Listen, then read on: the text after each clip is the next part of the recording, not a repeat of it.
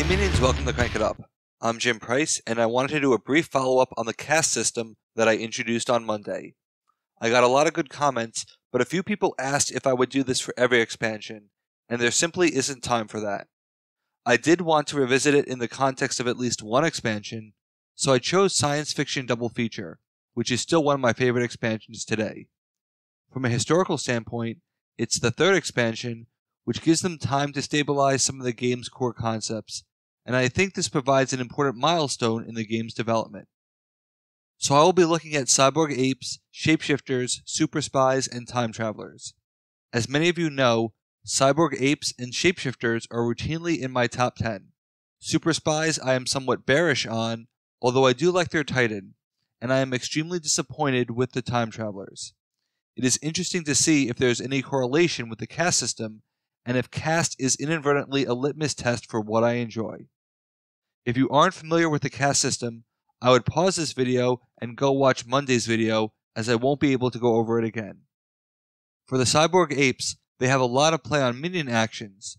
On Monday, I described Upgrade as being an ideal advance candidate because it is non-terminal, persistent power.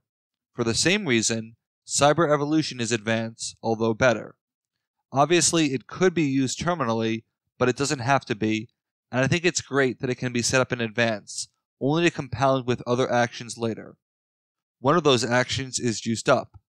It would be easy to think of Juiced Up as a terminal action, but it's not. It has extreme terminal potential, but it doesn't have to be used that way. You can absolutely play Juiced Up first. In fact, it's less power creep than Cyber Evolution. And I love that flexibility which is why it's a great advance card. Shielding is a defensive card, so like the previous defense cards, you have two more advance options. Flying Monkey also fits the same category because you are setting up a future play to keep your minion alive. It's great to start off with six advance actions. But the Cyborg Apes sprinkle in a few counter cards as well. Going Bananas can rip through opposing actions and counter some factions very hard. Monkey on your back provides non-scalable destruction, but it is potentially repeatable. That could be significant. You may recall that having at least the threat of destruction was important for Cyborg Ape Musketeers in March Smashness, but not having enough counters also played a role. Finally, we have two expand cards. Missing Uplink is great as it gives you an extra card each turn, protected once from discarding because you draw at the end of your turn. Monkey See Monkey Do can be a very powerful draw card, as I have hit five actions before. Just ask Sonus how that went. For the first faction, we have a very good spread of cards that mostly benefit you, while still having the ability to slightly affect others. Moving on to shapeshifters. This one was surprisingly difficult. I'm going to start with the obvious ones. Genetic Shift provides temporary power, so clearly terminal. Shell Game is defensive, so clearly advance. Splice is nice as Cyber Evolution, but worse, which still makes it advance. Mitosis is similar to Summon, which I made advance, so this feels like it should be advance. But whereas Summon can give you your first minion in play, Mitosis cannot. Yet it isn't required to be on the same base, so you can still spread, which would mean it doesn't have to be terminal. So I'll stick with advance. Cellular bonding absorbs the ability of something else, which makes it unpredictable, a clear trait of a situational card. That's 6 out of 10. But what about the other 4? By rule, Back to the Future can be used antagonistically, so it has to be listed as a counter card. It doesn't have to be used this way, but it does provide the means to take out a powerful minion, even if it gets replaced. But what about Really and Transmogrify? They replace minions, which should hopefully be an upgraded minion. That seems like advance. But you don't want to waste those minions, which implies terminal. You need the right setup in play, both the minions you replace and their replacements. I strongly prefer to have Shell Game out in order to save those minions and get free plays. So it's a play I have to set up, which is also a trait of situational. Given that there is both flexibility and requirements necessary for these cards, I am putting them there. That still gives them a fairly interesting spread of 1 counter, 3 advance, 4 situational, and 2 terminal. Next is the Super Spies. It's worth noting that, unlike the core set counter cards, all spy cards scale for multiplayer, which is a step in the right direction. but there is still a high density of counter cards.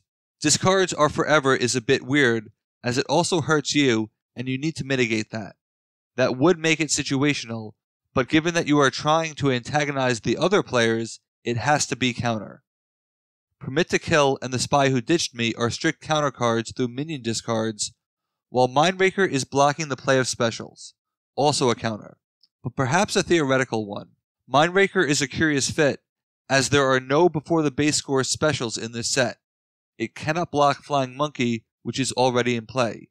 For this set, all it really does is block the Time Traveler after specials, and it's not like Time Travelers needed the nerf, especially for those cards. I could easily include Live and Let Chum and the base is not enough as counter cards because they are specials that specifically take out the other players.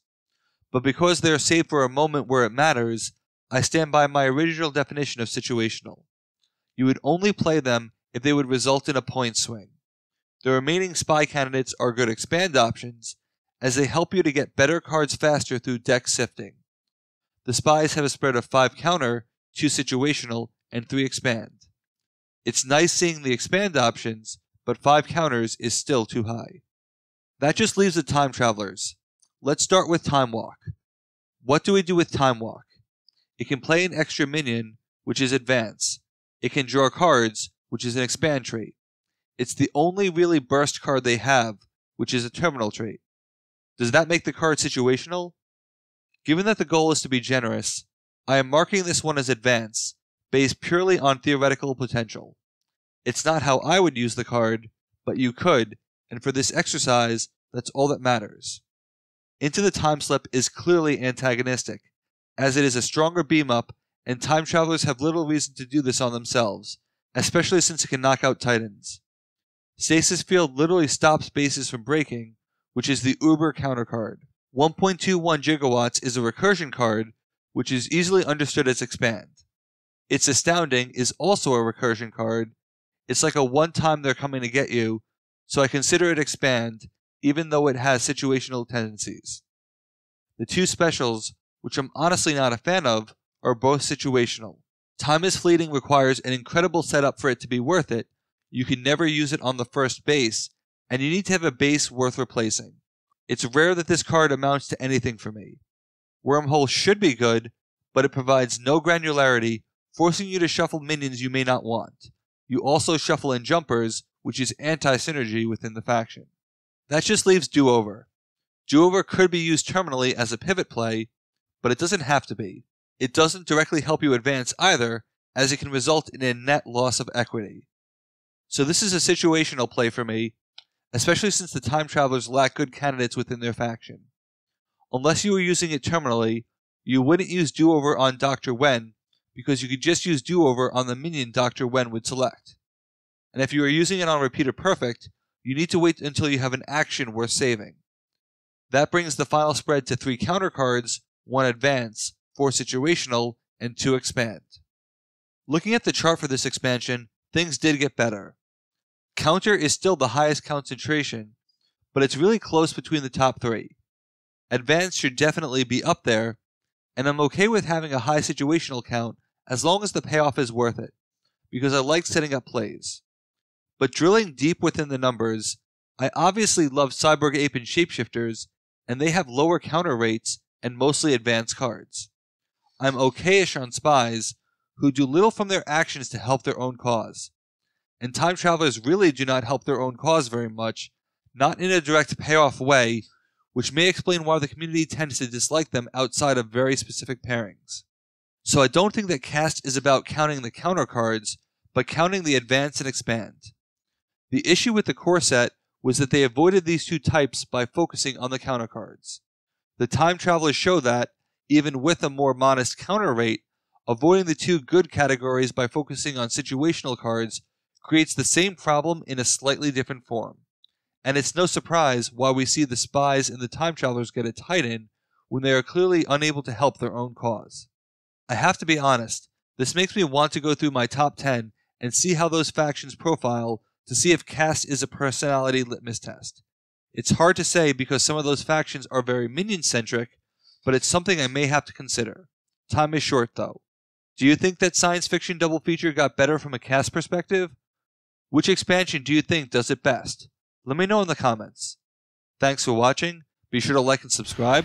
Let's shut it down.